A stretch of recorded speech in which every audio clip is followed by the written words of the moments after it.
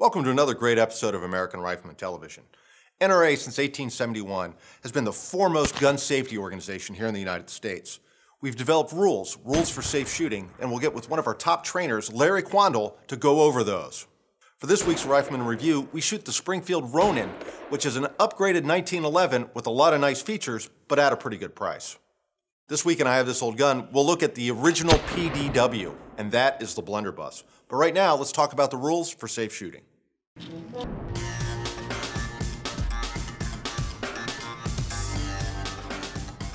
Last week, we covered the NRA safe gun handling rules. Rule number one, always keep the gun pointed in a safe direction. Two, always keep your finger off the trigger until you're ready to shoot.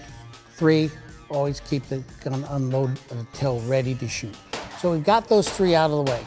We're gonna cover rules for shooting and storage. They roll right out of the three into the first thing is know your target and what is beyond.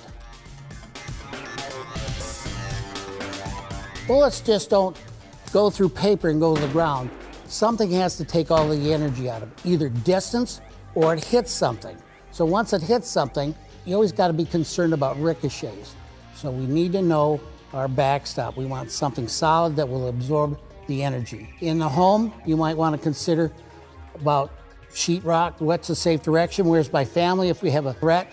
And then the most complicated is outside the home because you don't control the environment that's around you. Your attacker is going to pick where they're going to come from to succeed in their attack. It's going to be quick, it's going to be violent. Always know your backstop.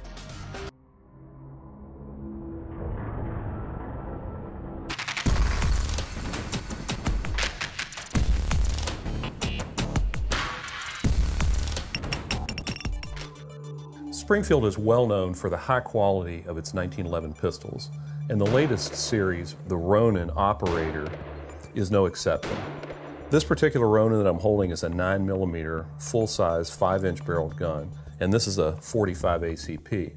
The difference between them is fairly slight at one ounce. This gun weighs 41 ounces and the 45 ACP weighs 40 ounces.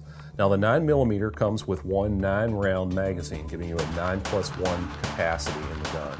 The 45 comes with an 8 round magazine.